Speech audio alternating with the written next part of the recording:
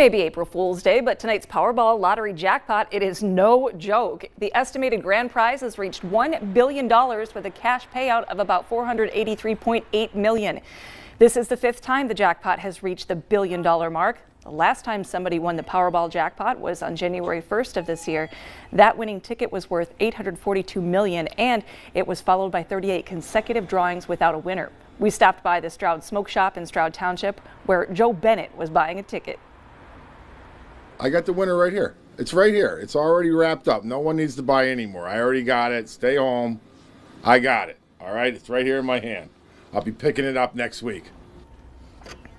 Nothing like positive thinking there. Good luck, Joe. And by the way, the odds of winning tonight's Powerball jackpot are 1 in $292.2 million. Wouldn't it be something if he actually won? Oh my gosh. Sometimes you throw it out there, right? right? Just manifest it, right?